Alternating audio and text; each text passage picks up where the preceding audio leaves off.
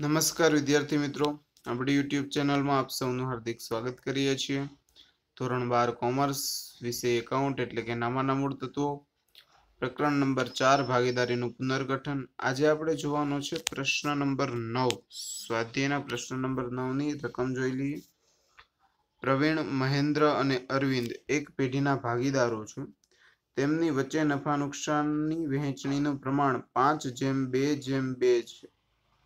પાંચ જેમ, બે જેમ, બે છે બધા જ ભાગીદારોએ મળીને નફા નુકસાન વહેંચણીનું પ્રમાણ બદલીને નવું પ્રમાણ એટલે કે બેના છેદમાં નવ, ત્રણના છેદમાં નવ અને ચારના છેદમાં નવ નક્કી કર્યું છે.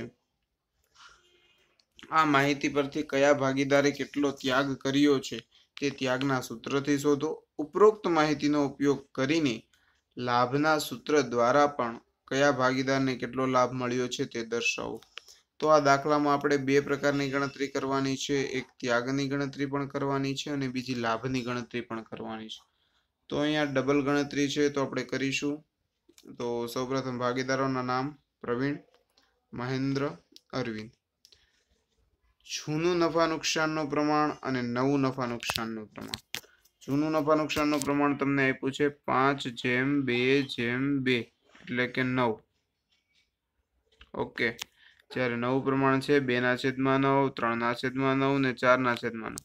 તો જોવામાં થોડુંક અલગ લાગે, પણ આપણે આ રીતે જ લખીએ છીએ ને, છેદમાં જ લખીએ છીએ, તો આપણે ખાલી અહીંયા એ જ ચેક કરવાનું છે કે બધાના છેદ સરખા તો છે ને? હા, બસ, છેદ સરખા છે તો કોઈ પ્રોબ્લેમ નથી.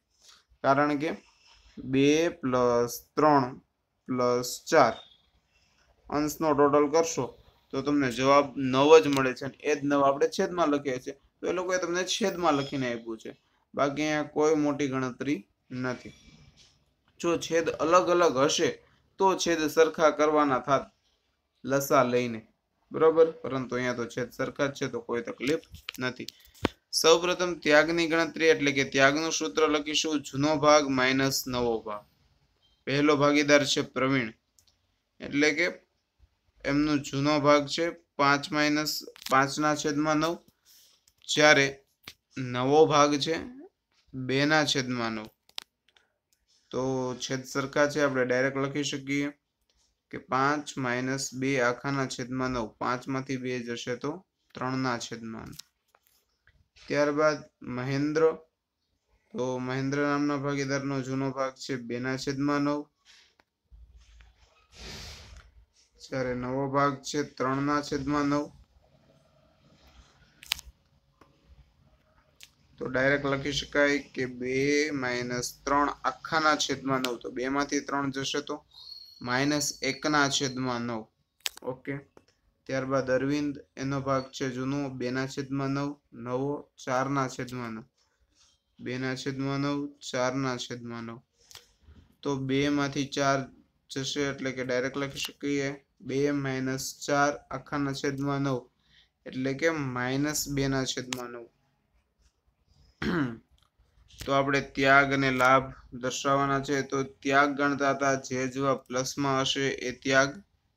જે જવાબ માઇનસમાં હશે એ લાભ. અને માઇનસ વાળો પણ લાભ. જેટલો ત્યાગ હોય એટલો જ લાભ થવો જોઈએ. તો ત્રણ ત્યાગ છે. તો લાભ પણ ત્રણ થઈ જાય છે. એક અને બે થઈને ઓકે આગળ એ જ દાખલો આપણે લાભના સૂત્રની મદદથી ગણવાનો છે. તો સૌ પ્રથમ લાભનું સૂત્ર લખી દઈએ. નવો ભાગ માઇનસ જૂનો ભાગ. પહેલો ભાગીદાર પ્રવીણ. પ્રવીણનું નવું પ્રમાણ અને જૂનું પ્રમાણ.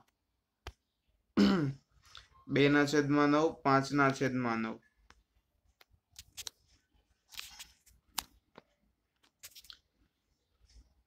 ઓકે, છેદ સરખા છે. આપણે ડાયરેક્ટ કેલ્ક્યુલેશન કરી શકીએ છીએ. બે માઇનસ પાંચ આખાના છેદમાં નવ. તો બે માંથી પાંચ જશે એટલે કે જવાબ માઇનસમાં મળશે, માઇનસ ત્રણના છેદમાં નવ ત્યારબાદ બીજો ભાગીદાર મહેન્દ્ર.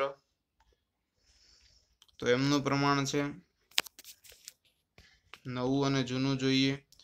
તો નવું છે ત્રણના છેદમાં નવ જૂનું છે બેના છેદમાં નવ ત્રણના છેદમાં નવ માઇનસ બેના છેદમાં.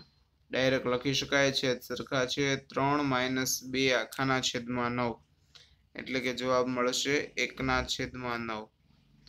ત્યારબાદ અરવિંદ નામના ભાગીદારનું નવું પ્રમાણ અને જૂનું પ્રમાણ. ચારના છેદમાં નવ અને બેના છેદમાં નવ. તો ચારના છેદમાં નવ બેના છેદમાં નવ. તો ડાયરેક્ટ લખી શકાય ચાર માઇનસ બે આખાના છેદમાં નવ એટલે કે બેના છેદમાં નવ. ઓકે, આપણે ગણતરી કરતા હતા. લાભની. તો પ્લસમાં જવાબ મળશે લાભ, માઇનસમાં મળશે ત્યાગ. તો પહેલો માઇનસ એટલે કે ત્યાગ. બીજો પ્લસ એટલે કે લાભ, ત્રીજો પ્લસ એટલે કે લાભ. તો જોઈ શકીએ કે જેટલો ત્યાગ એટલો જ લાભ. ત્રણ ત્યાગ છે, સામે લાભ પણ ત્રણ જ છે, કારણ કે એક પ્લસ બે. બરાબર છે? તો બંને દાખલામાં તમે ત્યાગ અને લાભ જોશો તો પ્રવીણનો ત્યાગ જ થશે. ગમે સૂત્રથી કરશો. અને મહેન્દ્ર અને અરવિંદનો લાભ જ થશે. ત્યાગના સૂત્રથી કરીએ કે લાભના સૂત્રથી કરીએ?